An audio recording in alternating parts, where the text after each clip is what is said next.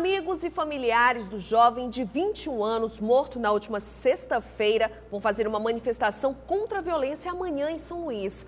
Manuel Guimarães Neto estava na porta de casa da casa de um amigo dele quando foi abordado por dois assaltantes.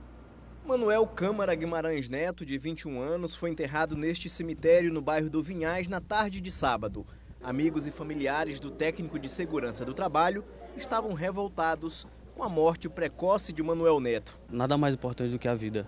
Podia ter levado o carro para onde for, desmanchar o que for, fazer o que for com o carro, mas que deixasse o Neto vivo. Que prendam as pessoas que fizeram e que faça justiça para confortar um pouco a família. Né? Manuel Neto veio no fim da tarde de sexta-feira conversar com um amigo nesta rua para assistirem ao jogo do Sampaio Correia. Quando ele estava voltando para casa, foi abordado por dois homens. Um deles sacou a arma e disparou contra o estudante, que foi jogado nesta calçada.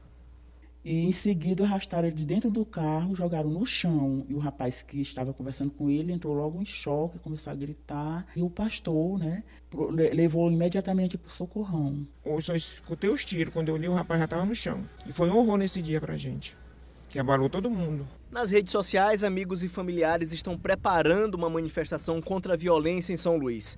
O protesto seria realizado hoje no bairro do Quatraque, onde o Manuel Neto morava mas foi adiado para esta terça-feira em horário que ainda vai ser divulgado. Nós não temos segurança. Nós vivemos aqui só por Deus mesmo, porque segurança nós não temos aqui no Quatraque.